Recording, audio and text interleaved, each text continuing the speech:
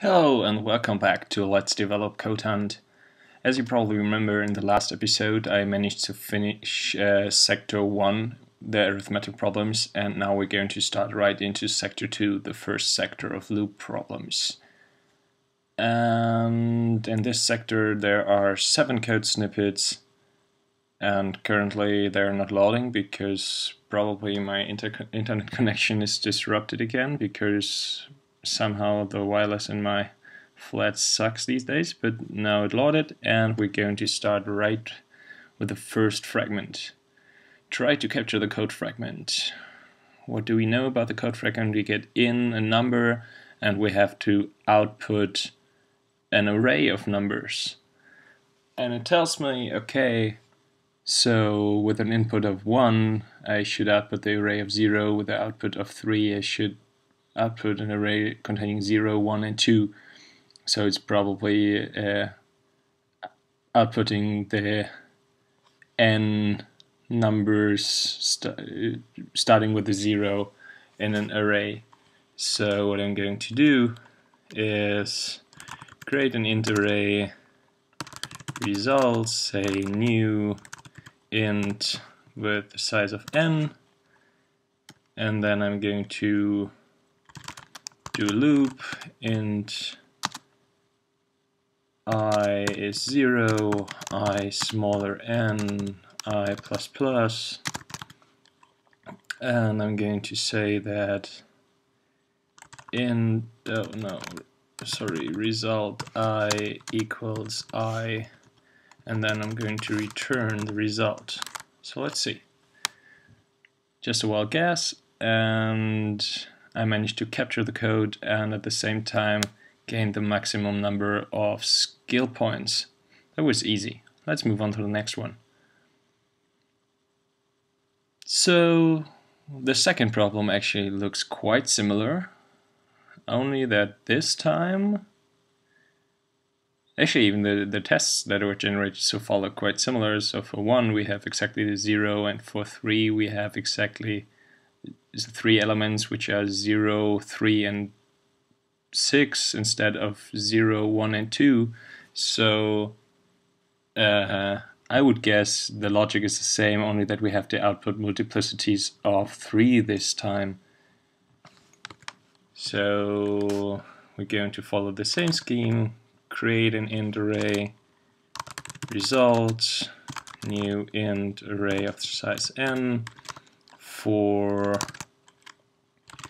int i equals 0 actually, i smaller n, i plus plus, uh, set result i to i times 3 and then return the result. Let's see. Oh, that did not work out. That's interesting. So in case of 2, I'm expected to have 0 and 2, so okay, probably this is i times n and not i times 3, which makes perfectly sense. And yes, with this I captured the code fragment and got the maximum skill rating. Nice, that was easy. Next one. So the schema looks quite similar actually here. So what I'm going to do now is I'm going to go back to the last level and do something something really ugly. I'm going to do copy pasting. I don't want to write this out every time. Let's see. So task 3 give me my test results. Thank you. So same loop. We again have 0 in the first case and we have 0, 1 and 3. 0, 1 and 3. So the first thing is 0, the second is 1 and the last one is 4.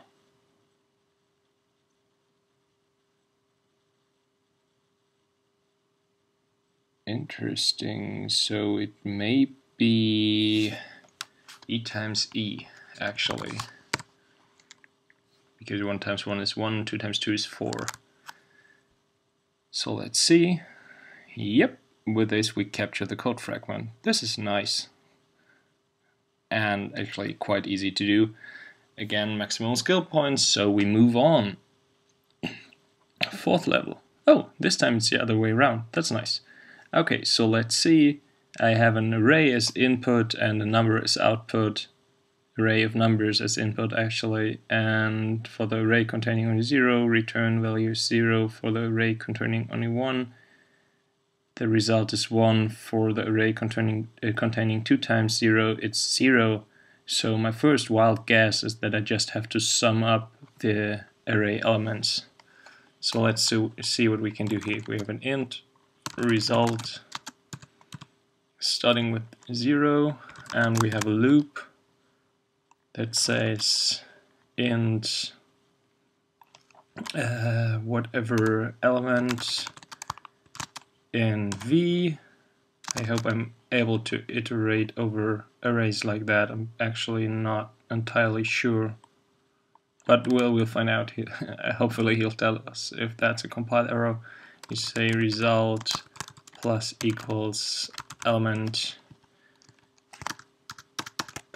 make the indentation right here and return the result. Let's see what happens. Do, do, do, do, do. This takes quite a long time. Why does it take so long? Shouldn't be so difficult. Oh, but it was the right solution. That is nice again. Got 8 maximum score points. Let's continue. 2.5. I'm on a spree here. So, okay, let's see. This time it's a different problem. We have a number n, we get in, and we're supposed to return another number. And it follows, this looks like the problems from the from the first session actually. But somehow I'm probably supposed to use a loop to solve this problem. Anyways, let's see. For the input n of 1, we're expected to return 0 for the input n of 7, we're expected to return 91. I don't really have an intuitive uh, an intuition about this function, so I'm going to organize myself some more values with the same scheme I used so many times over and over again. Let's see what happens here. If n equals 3, then return 5. If n equals 9, so this is a superlinear thing, whatever it actually is, 204. 204. That is 20. It's not divide. It's not divisible by 9, is it? No, it's not. Okay, so maybe if we get some more get it's it's increasing. It's increasing, so there should be some kind of function to capture this increasing function. Cannot be too difficult. I'm only not that sure how to use a loop for that yet, but maybe I'll figure it out. Hopefully I'll figure it out, because otherwise I won't get through this level. Uh, it's 4 and 14, right?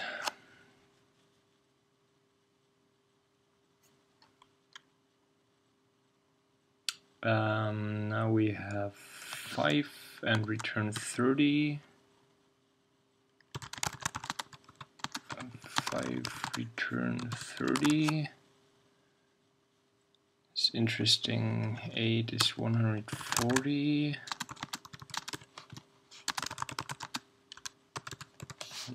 140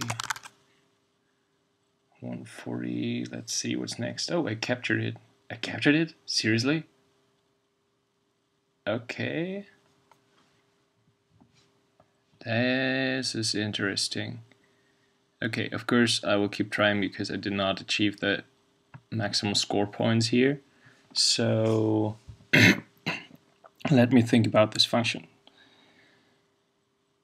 so, so for negative inputs, if there are any, and for 0 and 1 as input I return 0. For everything up to 9 I return increasing value and from 10 on I obviously return 0 again. So how am I, am I supposed to use a loop to solve this problem? I don't even have something I could loop over.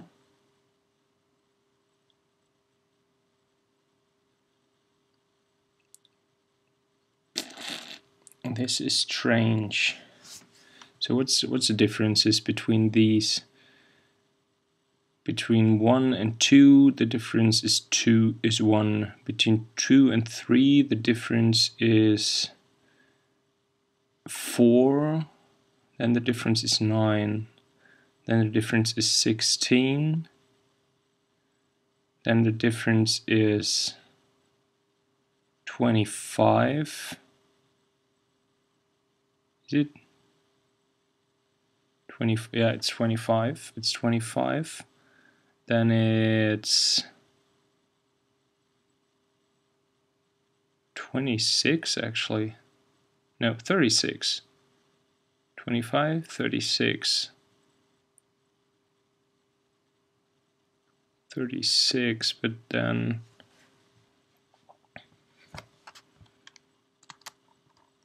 I had an idea, but so this is this is okay. This let's write it like this: plus four, then it's plus nine, plus sixteen, but this doesn't fit into my idea. Plus 16 plus 25. Now it's fitting for a while. 25, 36 no, it's actually not fitting at all. Forget it. Just just forget about it. It was was a stupid idea. Okay. But interesting. Those are the. I think it was a right idea after all, because this time it's going to be. Uh, this is 6 times 6, so 7 times 7 is 49. No, that's not it. What's the difference? Ah, no, but it's 49. Yeah, actually it's 49. It's 49 and this time it's going to be uh, 8 times 8. Am I stupid? Uh, 5 times 8 is 40, 3 times 8 is 24, so it's 6, yeah, 64. Uh, sorry. Sorry for that one. So it's 64, which is actually true. So these are quadratics. Let's see. So this is always the previous plus n minus 1 times n minus 1. So how do we express this? Our result is of course an integer value. And maybe maybe I should actually do I need the I could do this recursively couldn't I? I could probably do this recursively. So uh, Okay, so I'm supposed to solve this with a loop, so I'm going to solve this with a loop. Let's see. Uh, for I'm going to loop over all the numbers that are smaller than my input. And I'm going to add let's see for input 0 I'm going to I'm not going to do in this loop into this loop at all so the output is 0 that's what I expect input 1 I'm going to go into this loop for e for i equals 0 so the result is going to be 0 in any case. For input 2 I want to have 2 so I'm going to into it for i times 0 which doesn't make any sense and for i times 1 uh, i equals to 1 so 1 is just what I wanted to add. Actually, I don't need to go into here for for the for the zero case at all because it will not change anything. And for i times uh, n times uh, ah, sorry for that. As for n equals three, I'm going to go in here for i equals one, which will add one, and for i equals 2 which is supposed to add 4 so it's supposed to add i times i return result right?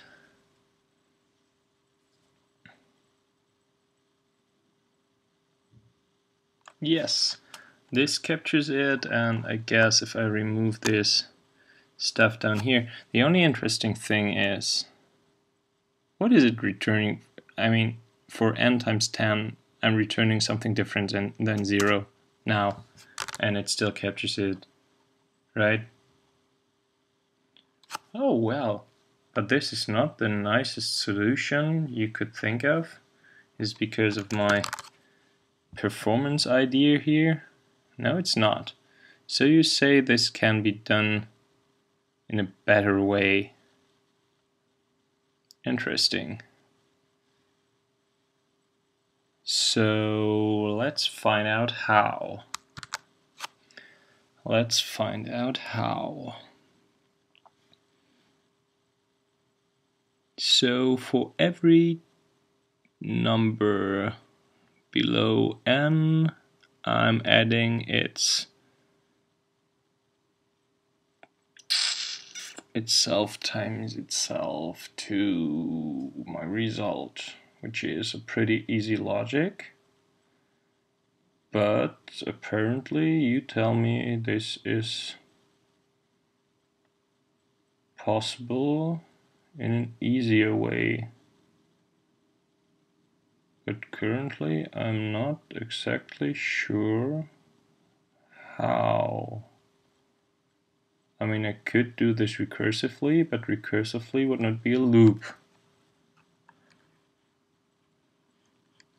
It could say return puzzle of n minus 1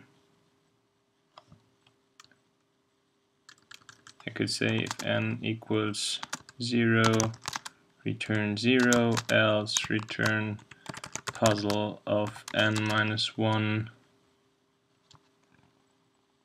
I guess I need a brace here plus